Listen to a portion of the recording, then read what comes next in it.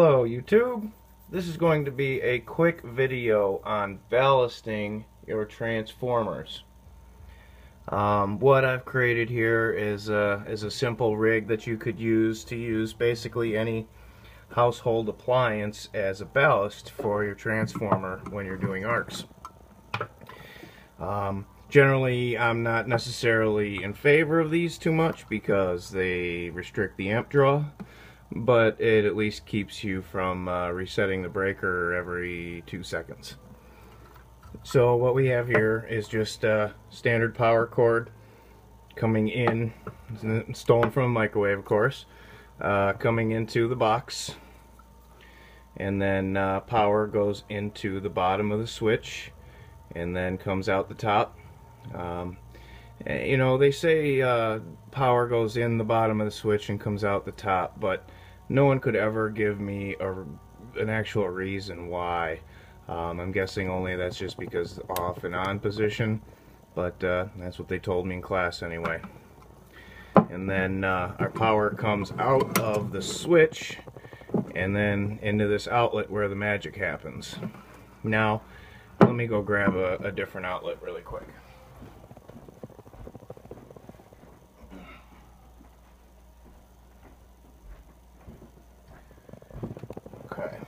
Any outlet that you purchase out of the package is going to have these little little brass you know you, you have your your your top and bottom outlets are separated. That way you, let's say you want the light switch on the top outlet but you want the bottom outlet live all the time. What you do is there's a little tab here that you can actually break off and um, that separates the outlets. You, you break them off on both sides, obviously, for the neutral and the hot. So that's what we've done here on this outlet. We've separated the two, and the way we have it set up is power comes out of the switch and goes to the hot. Um, brass screws are always the hot, silver screws are always your neutral. So power comes in the top of the outlet and then exits over here. Normally this would be a neutral, but what we have is a little jumper that, that runs underneath the outlet here.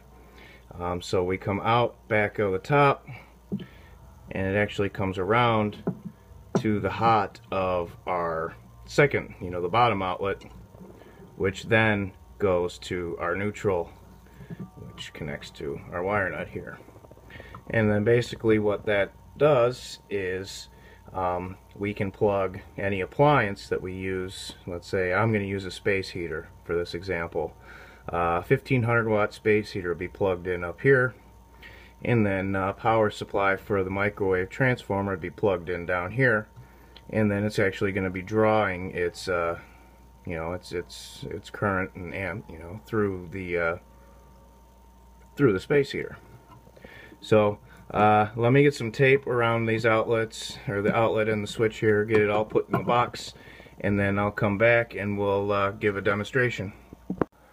Alright, here is a quick rundown of the entire setup I have going on here. Okay, so power comes in to the box we just made, and here is a perfect example to show you how things work. Right now, switch is in the off position. I have nothing plugged into the ballast, but I have what I am going to, my transformer plugged in. Now, if I switch this to the on position, my lights are still dead on the on my control box.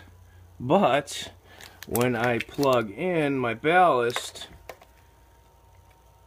oh, if I plug it in the right way, I plug in my ballast here, now I got my lights on and everything's working. But notice that I have this turned to high and everything turned up and I got no power and nothing's going on. That is because this won't power until I complete the circuit with the microwave transformer. So when I'm doing my arcs is when this is actually going to power on. So from there into my box, which will go to my plug here, goes into that, and then that will go into my transformer. Uh, I have the case of the transformer going to this little piece of conduit I got sticking through the box where we'll do our arcs, and then uh, you know the little pokey bit on the other end. So uh, let's do it, eh? Okay, so in she goes. Turn her on. No hum from the transformer because again, we're not completing the circuit until I touch the bar with the pipe. So, let's go ahead and grab the pokey bit and see what happens.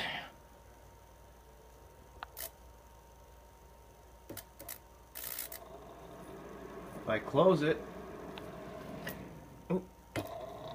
space heater runs. Running, running now. But, what the fuck is that sad shit? I mean, is that a joke?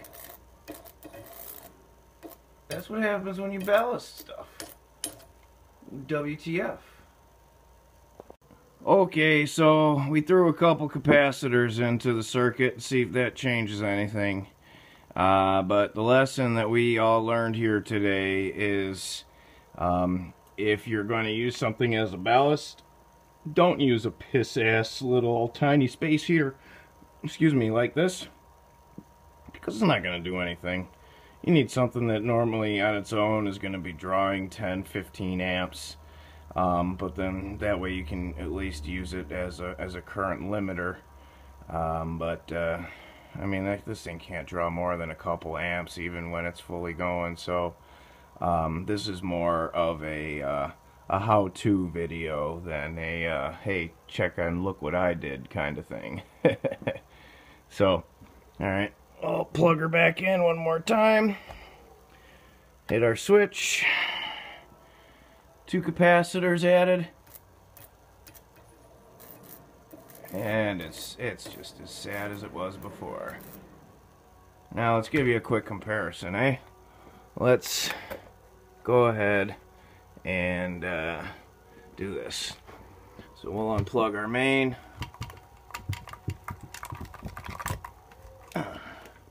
Plug our box right into the outlet. Hit our switch. Transformer's humming now.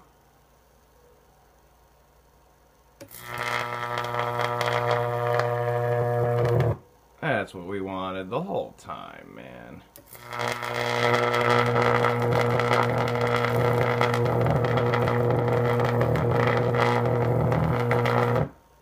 Was that too hard? To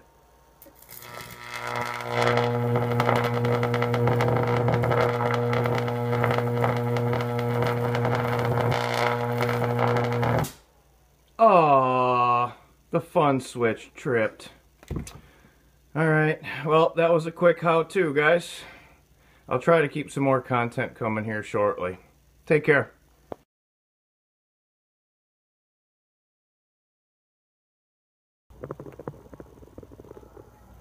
Okay, so now we got this set up here on the speaker, I can do it hands-free.